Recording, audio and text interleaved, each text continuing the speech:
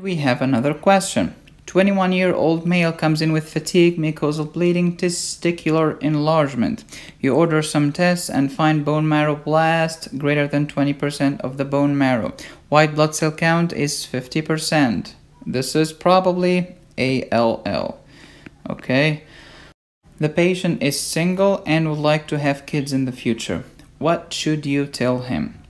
A. Advise him to preserve his sperms in a sperm bank before chemo and radiation because they will damage the testicles.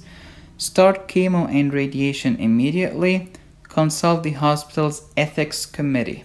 The answer is A. Advise him to preserve his sperm in sperm banks because chemo and radiation to the testicles will lead to irreversible infertility most of the time.